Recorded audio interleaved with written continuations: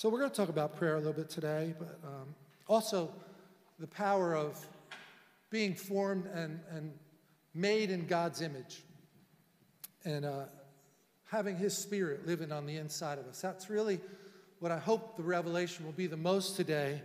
We say Holy Spirit, we sang Holy Ghost a little bit earlier today, and we have to have a name for that part of the Godhead. But it's a very complex presence in our lives that, that could be described by a lot of names, and we'll talk about that a little bit today. But recognize what I've been starting to say is that it's the spirit of God's divine nature lives on the inside of us. And that's a really profound thought. So let's just pray for a second here and ask the Lord to, to make that real to us. Father, as we open up your word this morning, help us recognize that it's not a ghost, that your presence in us is not a ghost, it's not spooky or mystical, uh, other than to know that it's your power and presence living on the inside of us.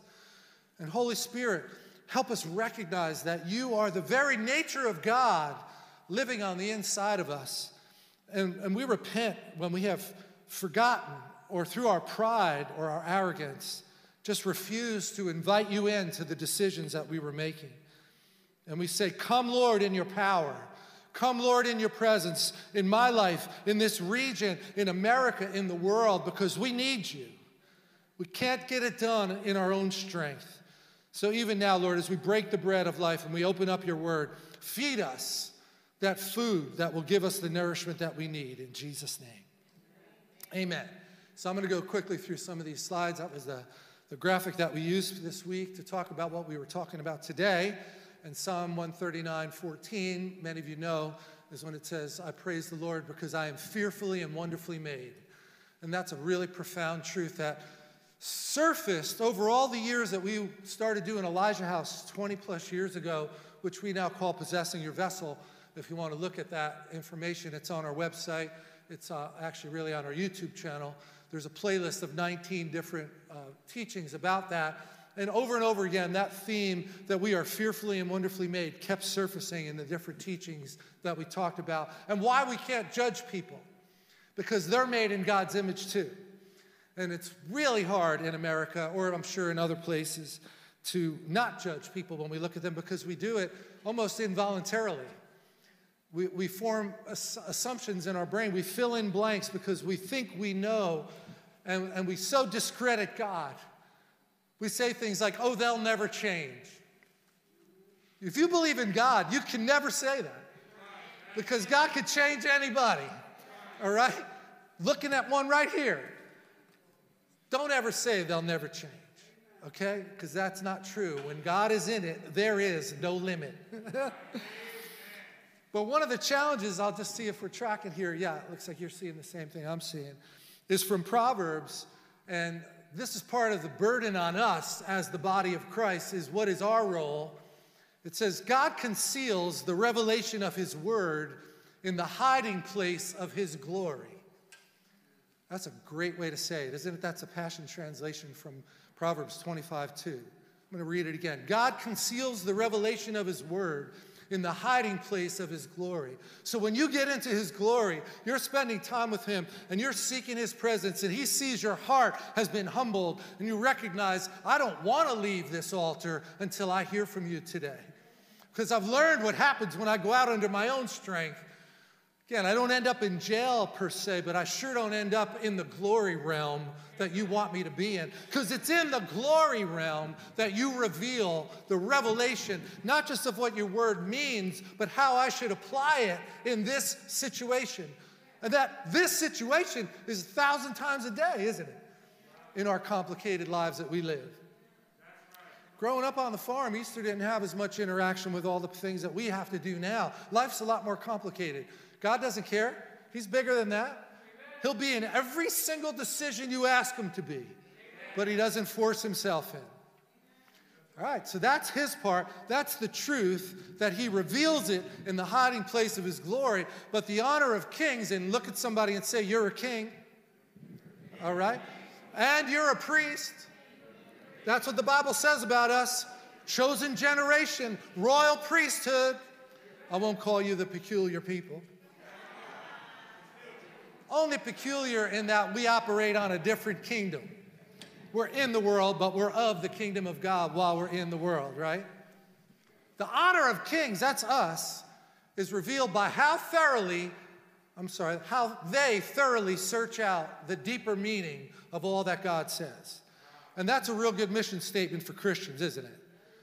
That we should be thoroughly searching out the deeper meanings of everything that God says, not just to understand the theory, but to know how to translate that into everyday life and every interaction that we have. And you can be respectful to everybody, even when you don't agree with them. But it's not easy, is it? Not easy. Neither is forgiving people, but God helps us do it, doesn't He? It's supernatural that you're able to forgive people. Watch the uh, less than an hour video by Joyce Meyer called One Life, and you'll learn about the supernatural power of forgiveness. And I quoted Psalm 139 14 already. I am fearfully, wonderfully made, but what I'm doing with you today is trying to say that part of the assignment is to take what's written in Proverbs 25. God reveals that revelation only comes when we're in that hiding place of His glory and it's our job to translate that into the way we interact with everybody that we meet. And never give up hope on anybody. Now, that doesn't mean necessarily that you have to keep inviting them over to dinner either. Right? You're not looking past everything they're doing. Sometimes tough love requires you to say, This is the requirement in order for us to continue. That is loving them candy coating things and saying, oh no, you didn't hurt my feelings. It's okay. Yes, they did hurt your feelings. Say it. You got the spirit of truth living inside of you, but just say it with love. And you might have to ask. I don't know how to do that, God, but works real good in a marriage. Ask first. and then this is uh, Hebrews 1 3 in two different translations because there's key words here. It talks about the Spirit of God having so many different dimensions. And that's how you should think of it. If you've ever seen a diamond up close and you change it in the light, there's so many dimensions of the way the light refracts off of that diamond, right? And that's how each person is. But the woundings that we experience in life are just brutal. And, and they, they cover over a lot of that glow of the diamond. But God still sees it in there behind all the pain and behind all the structure that gets put up to protect us. God still sees the light on the inside. And he says, The Son, Jesus, is the dazzling radiance of God's splendor, the exact expression of God's true nature, his mirror image. When you look at me, Jesus said, you've seen the Father. Now, most people in the culture would not make that connection. In one of our Bible studies, we've been talking about the Sermon on the Mount, and, and the person moderating the talk said, when you think of a genius, who's the first person that comes to your mind? And everybody put their word in. Einstein's usually the first one that most people think of. What about Jesus? He was the smartest person who ever lived. But somehow he's been made out in the movies and in all the ways we think of him as, as some kind of spiritual, spooky guy that said things that people didn't understand. No, see, you've got to dig in. You've got to get in that hiding place of glory, and the Lord will reveal it to you. And then He will show you how to apply it in the lives of the people that you're interacting with. Every one of them, every person you interact with is a gem to the Lord because they were made in His image. It's really hard. Well, this teaching in, in the uh, class that we run, the possessing your vessel, bitter root judgments, uh, those of you that remember that one. It's very difficult. We, we make inner vows. We have bad things happen to us, and we make statements in the inside of our spirit, and we say, I will never let that happen again. I will never be like my father. I will never be like my mother. I will never trust a man or a woman, however you got hurt. Well, guess what? You become the very thing you say you'll never be by the power of sowing and reaping. Because you defiled something that God holds in high value. And many times we have to repent of our judgments against people. All right, that's a different day's teaching. But if Jesus is the, it says the exact expression of God's true nature, and Holy Spirit is his nature inside of us, right? And it even says the same spirit that raised Jesus from the dead is alive in you. So this is not a ghost. Holy Ghost, that's one of the translations. The spiritual aspect of it is powerful, but the exact expression was in Jesus. Part of that is in you. So he wants us to be exact expressions of his nature. It's amazing, isn't it? That this God that has no limits puts himself in a limited structure and empowers us to do things that are supernatural. Let your kingdom come today, Lord. Let your will be done here on earth through my life as it is in heaven. And then the other way it's written in the New English translation says, The Son is the radiance of his glory and the representation of his essence. I love that word essence. The picture I got is when you boil, if you're a chef and you boil down everything in the pot, the essence is what's left, right? You strip away all the outside stuff. I heard somebody describe a marathon like that. A marathon, when you're in that 17th mile and you're just about to die of a heart attack, you think, right? You haven't caught your second wind yet, and you're stripped of everything you thought was important, and this is the real you that's left now. That's Jesus on the cross. Everything else has been stripped away, and he's only got a few minutes left. And he says, Father, forgive them. That's the essence of who he is. He was human, he could have sinned, could have held resentment and bitterness. No, the essence of who he is is forgive them. They know not what they do. Oh, that's in us. And he said, In the last days, I will pour my spirit on all flesh. That's worth thinking about. Because that person who's yelling at you and raging at you, I think you might have heard me say in, in, New York City one time, I was on the elevator, and this guy got in, in the elevator. He was having a really bad day. And it was an older guy, I think it was in a medical building, and he had gone to the doctor, and he was like, Yeah, you stupid, you know, like he was just having a bad day. And he was a little shorter than me, and he looked up at me, he goes, Man, he was just giving me a hard time. I never met him. It was on elevator, the door's open, and this guy walks in. You know, and you want to think like he's demon possessed, but I just got compassion for him. That's what the Lord will do. And I just smiled at him. I tried anyway. I smiled at him and said, Man, looks like you're having a really bad day. Can I pray for you? And it just disarms that thing. Because that's not what they're expecting, right? They're expecting to be iron and iron going against each other. Mm-mm. The Holy Spirit works in us in every transaction if we ask Him to. Ha. So, He's the exact expression of God's essence living inside of me. So I could ask my wife at the end of the day, How did I express His essence in my behavior to you? And she could say, Well, how much time do you have? she took notes. Part of it is giving the person permission to speak into your life and not get defensive about it, right? One of the best things you could have somebody do for you speak truth into your life. So here's some of the different words Holy Spirit, the exact expression and essence of God, pneuma, that's breath. That's a hot topic these last, what, 14 months? Breath. the breath of God that's what so resonated with me when you gave that word earlier today during prayer, when it's essential. The breath is essential or you can't live. And this, the breath of God in your conversations is essential or your relationships won't live. Because you'll say things out of that carnal side of your nature, that fleshly side of your nature. And you can only control your half of the equation. You can't control what the other people do or say to you, but you sure can control what you say and what you do. And Kathy came up and gave a word that she got. Was it in a dream? I think you said, right? About essential? Coming in the car, so it was more of a vision. And uh, boy, that's so true. Every person is essential, all right? Even if they are on the wrong party, political party, or it's a family member giving you a hard time about something, what we're going to have to do is give an account someday for how we treated them.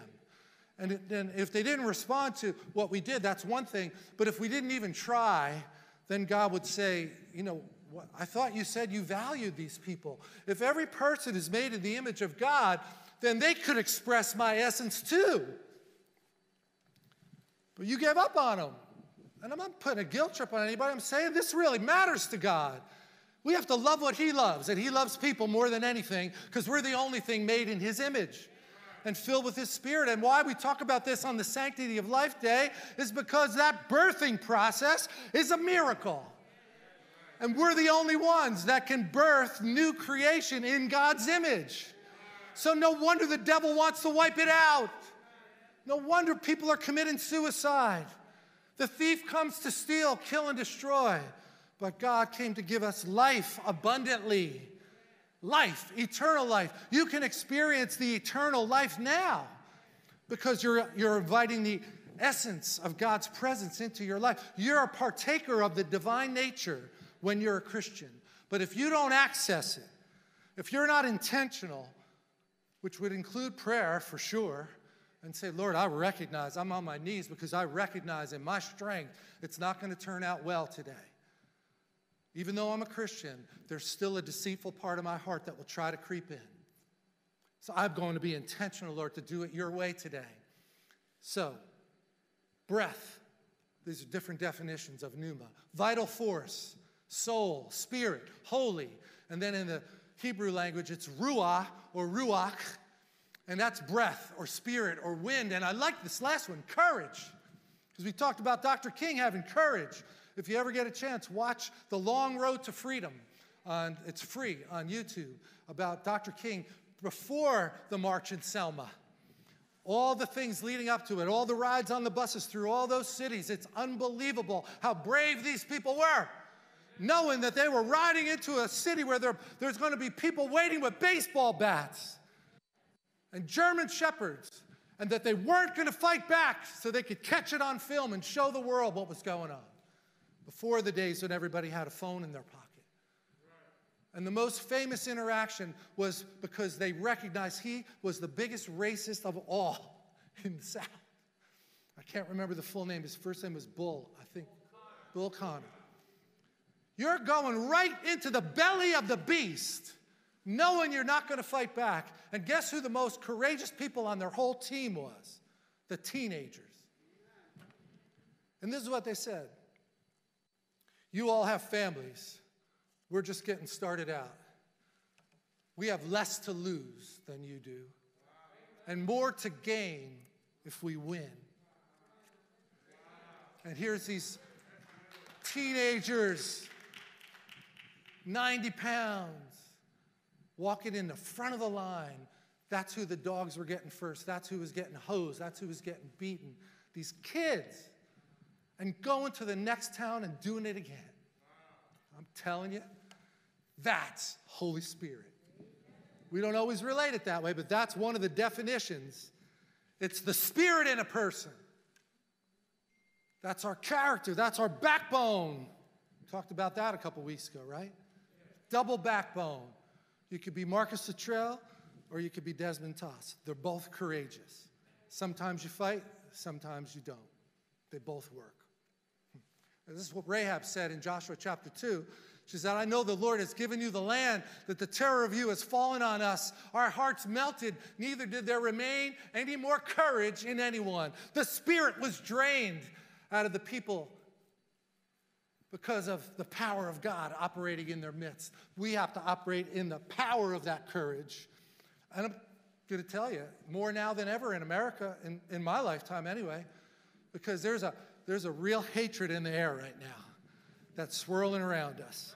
And we're the church of Jesus Christ. The gates of hell will not prevail against us. There might be some persecution. That's okay. The church has prospered through persecution throughout history. There's no such thing as a free pass in life, right? There isn't. We'll talk about that another day too. I just want to hit a couple scriptures. This is what I already quoted, his partakers of his divine nature. It says, Everything we could ever need for life and complete devotion to God has already been deposited in us by the, his divine power, okay? That's Holy Spirit. Everything you need for life is already in you. He's given you magnificent promises that are beyond all price you can experience partnership with the divine nature. He doesn't just automatically force his way in, he comes where he's welcome. So welcome him in Every minute of every day, welcome him into your life because he'll help you do better than you would do on your own. Why wouldn't we pray? Why wouldn't we ask for his advice? He's not going to give you bad advice. But your flesh will tell you you should eat from that tree of the knowledge of good and evil, even though God told you not to, because He's trying to hold something back. And people are still doing this today. No matter what the statistics say, I'm going to try living together with the person before I get married. The, the, the, it's got nothing to do with whether they're Christians or not. All the studies say it doesn't work.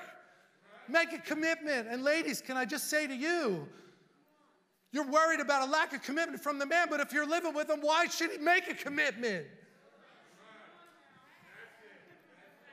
Selah. And the dads of these girls should be meeting the guy with a shotgun on the porch. You know, that's John Price's story, right? First time he met Cheryl's father, he went over to the house and Cheryl's father walked out onto the porch and he showed John a shotgun shell with his name on it. It said John Price. this is what's going to happen to you if you mess with my daughter. And then he picked up the father by the ankles and, and the scruff of his jacket and he lifted him up over his head. It's the first time he met him. And he said, Well, you better not miss, because if you miss me, I'll kill you. Put him back down on the porch. And then the father walked back in the house and, and said to the mom, Cheryl's got a new boyfriend and I really like him. so that they did stuff different down in the Pine Barrens than they do up here. Jesus is right. So let me just build a little bridge here for you because this is how the Lord showed it to me. Jesus was the exact expression, right? And Spirit of God is the essence of the Father. Boiled down, everything living inside of you. What a dispensation that we're in, that Holy Spirit is living inside of us, and that we're on this side of Pentecost. Meaning, you know, the Pentecostal movement really started in Los Angeles on Azusa Street in 1906, and it hasn't slowed down yet. It's amazing. So, the exact expression and the representation of his essence. How well, I already said it, do I express his essence? This is something we could be looking at every day. This is what God asks us to do, to examine ourselves. And then it goes to the anointing is expressance. it's a new word. It combines those two things together, and it's like IQ and EQ. You know, IQ is intelligence, but EQ is the way you apply it, how well you handle things. That's what it's meant to be anyway. And that's what this is. It's like an ability to translate what the Lord is saying to us into every situation. And I found the more I asked, the better I got at it. Because I lived a long part of my life without even asking and just thinking I knew. But why not just pause and hesitate and wait? And then I could be the expressance. you can decide whether you like that word. For me, it means a whole lot. What's that factor in my life? How well did I know what he wanted to do, and how well did I be what he wanted me to be. That's this translation process. That you can speak the truth to somebody and do it in love. All right, you good? And then I said, the anointing is expressing no prayer, no anointing. Peter's life. You guys decide whether you believe that or not. And then this is the picture that he gave me. Because it's the Sanctity of Life Sunday. And it's this picture of a mom being pregnant and then that image of what Da Vinci drew as humanity, right? The, the picture of a, of a person who's made in God's image is being released, fearfully and wonderfully made, right? Psalm 139 14. It's being released into the earth. This person, this amazing creation in the image of God is being released into the earth. And what happens to that child is partly due to how we receive that child corporately, how we receive that child. And one of the reasons this country was started is so that people could have a fair shot. We hold this truth to be self evident that every person is created equal. No caste system like there was in India. Everybody here is going to get a shot. Everybody here is going to be presumed innocent until you can prove them guilty. And that's a great thing, but nobody else had done that before amazing heritage we have. Some bad stuff, of course. Of course. Nobody had ever even tried this experiment before. I'm going to go off on that tangent. But here's this little baby that I, am guessing the one on the, on the top there, 30 weeks, premature, would have died 50 years ago. But today they can keep these children alive so much longer.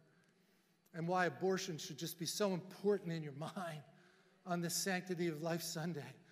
And that we, we have allowed it to become such a common thing in the American culture that we don't even talk about it anymore. It's just like a given. It's not okay. It's not okay. Not in this church, anyway. There might be other churches that say they're pro choice. I just don't know how you could ever match this up with that opinion. They're, they're defending late term abortions or even post birth, let the baby die. I tell you, that, that's going to bring a really bad outcome if we don't do something about it. We can't say we didn't try. That, that's the bottom line. Whether we change it or not, that's one thing. But, you know, William Wilberforce is famous for what he did in England to stop the slave trade. On paper, impossible for one guy to make that much of a difference. Read the book, Amazing Grace. He made the difference. Eric Metaxas wrote the book. Powerful what one person can do. So you might think, well, what can I do against that? What you can do is pray. And wherever two are gathered in my name, Jesus said, I'm there with you.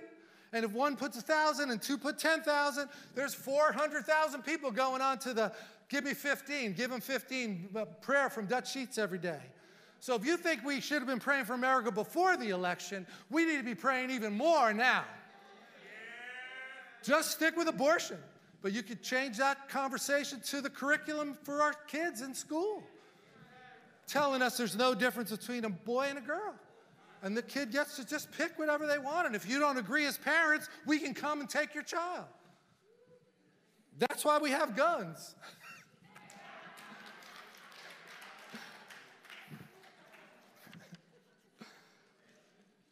You're just going to let somebody take your child? Six year old kid that is confused about being a boy or a girl? You planted the seed in his brain to confuse him about it in the first place. No, not okay. Not on our watch, church, right? Not on our watch. I'm going to finish in Romans, just a couple verses. Thank you. Romans 8 9. the expressance of God's nature. I'm going to try to say it a few times so you get used to this word. The Spirit in us is guiding us, but if anyone doesn't have the Spirit of Christ, he doesn't belong to God and is not a child of God. So your first identity is child of God, right? If somebody says, Who are you? You say, I'm a child of the living God, son or daughter of the living God. That's first, not Italian or whoever else you might be by ethnic or whatever else you do. Sometimes people say, I'm an accountant. Well, no, you're not an accountant. That's what you do, that's not who you are. Right? I'm a child of God. First answer. That's who you are first, primary. if Christ lives in you, though your natural body is dead because of sin, your spirit is alive because of the righteousness that he provides. I like that. Did I jump ahead? I think I might have jumped one. I'm sorry. I'm going to go back to seven. The mind of the flesh, with its sinful pursuits, there it is, good, is actively hostile to God. So, can I just make a commercial when you're talking to unsafe people? They don't have awareness of the Holy Spirit. So, this was me, the mind of my flesh, with its sinful pursuits. I was actively hostile to God before I became a Christian because I wanted to fulfill the lusts of my flesh. I didn't know there was any other option. Everybody I look up to, that's what they did. And I wanted to be good at what they did. I was just following the wrong leader. I didn't know about the Lord. So, this is who you're speaking to when you're talking to an unsaved person. That, that person doesn't submit itself to God's law and can't until they say yes to Jesus. And those who are in the flesh, living the life that caters to that sinful appetite, cannot please God. However, you are not living in the flesh. Say that with me, okay? I am not. Not living in the flesh. Thank you, Lord. I'm not controlled by that sinful nature, but I'm living in the Spirit. In fact, the Spirit lives in me. How much better is that? Oh, much better. Thank you, Dave. And what's he doing? He's directing you and guiding you. But if you don't have the Spirit of Christ, he doesn't belong to you. You don't belong to the Lord, and you're not a child of God. But if Christ lives in you, though your natural body is dead because of sin, your spirit is alive because of the righteousness that he provides. Oh. God made him who knew no sin to be sin for us, that we might become the righteousness of God as a yielded vessel to the Lord. He fills you with His Spirit. Then you take the time and you burn the Word in. Worship music, uh, whatever ways you can get it in, audio books. There's so many ways that you can be listening to the Word get it in your spirit in the course of your day. It'll help keep you calm. Getting a little riled up up here. this is one of my favorite verses. Well, I think of it all the time. Romans 8 11. And if the spirit of him who raised Jesus from the dead lives in you, he who raised Christ from the dead will also give life to your mortal body. This, this is going to get resurrected someday in a new form. Hallelujah. but while we're here, that spirit lives inside of us. And verse 12 says, So then, brethren and brothers and sisters, we have an obligation, but the obligation is not to our flesh. That human nature, that worldliness, that sinful capacity that still tries to resurrect inside of us, even though we're Christians. That's why it's called warfare, because there's this competing going on for our attention. Sure, I can eat from that tree of the knowledge of good and evil. God's just being stingy. Yeah, how silly is that? No, no, I've learned I can trust him. How about you? This has got all the answers, but I got to dig in to find them. And I've got to have friends around me that are modeling this for me because they encourage me and we strengthen each other because we're living in a family of other believers that keep, you know, I love that one where it says that we spur one another on to love and good works. Spur, that's what a cowboy uses to get the horse to move. We spur one another on. Hey, what are you doing, Dave? Snap out of it. Trish likes that line in that movie. Remember that? Moonstruck? Snap out of it. It's the fivefold ministry.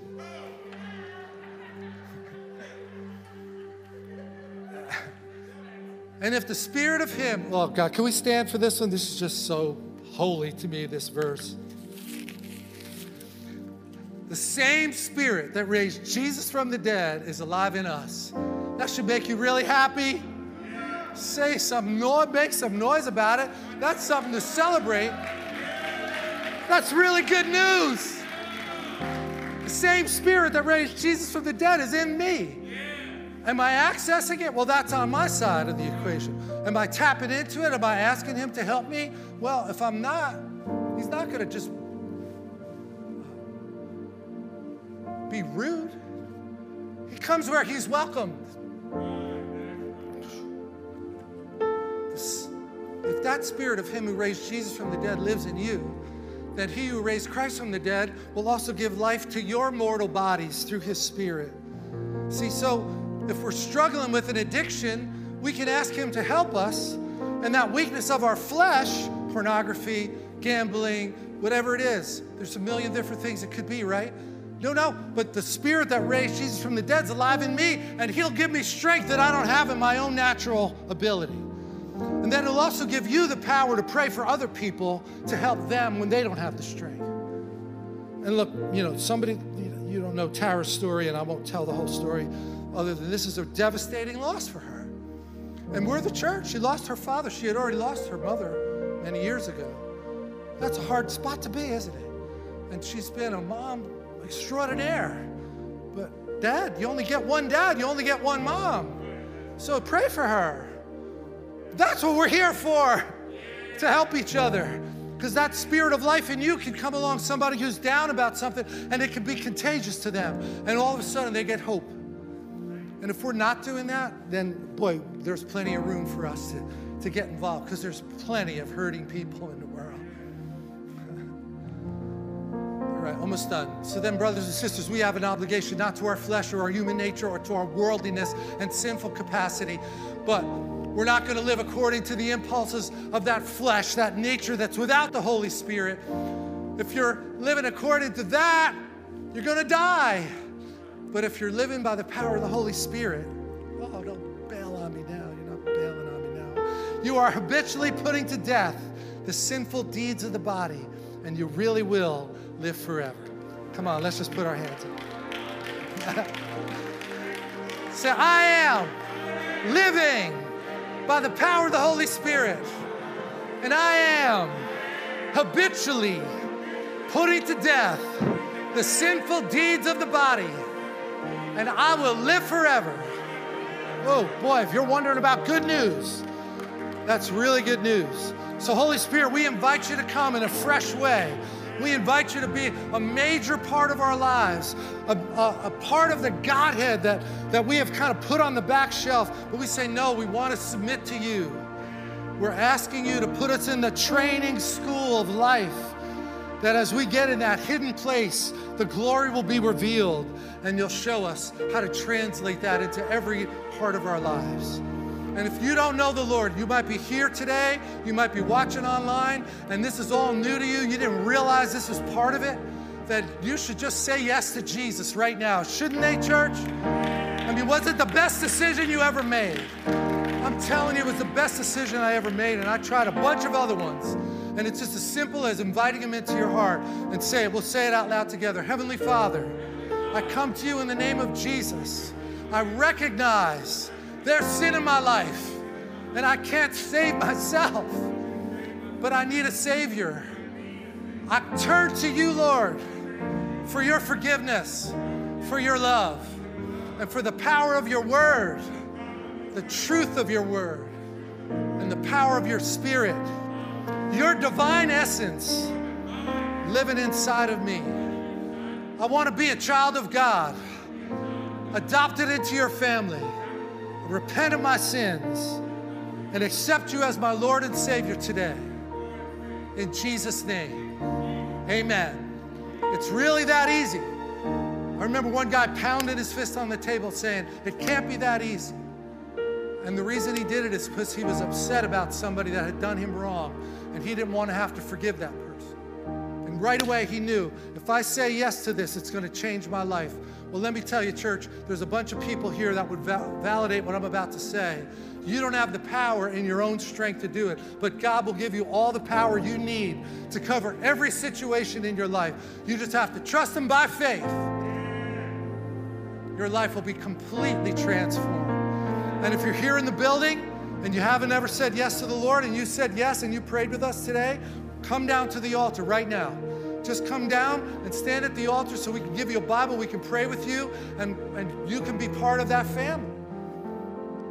And the church, if you're not bringing an unbeliever to church, start bringing some of your friends that don't know the Lord. And let's believe God for the miraculous. Amen?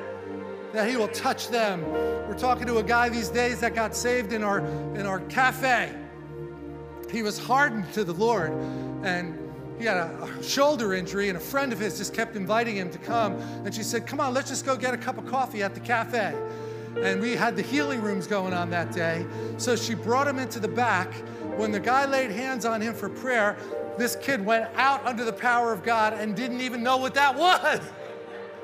He got up, healed, accepted the Lord, and now he's working full time in ministry. telling you. And she was probably looked at as like a pain in the neck. Leave me alone, lady. All right, I'll go get a cup of coffee with you just to get you off my back. Well, the hound of heaven is the Holy Spirit. So you be people that are introducing this to your friends and saying, hey, if you're hurting, come on, they'll pray for you. Right? Let's be that church. So, Lord, I bless your people as we go out today. We're not going out powerless people. We're going out filled with that divine nature living on the inside of us. Help us, Lord to express your essence in everything that we do. And each day to keep growing in this ability in Jesus' name.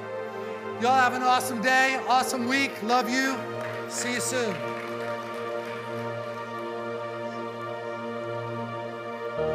Caught up in your presence. I just want to sit here.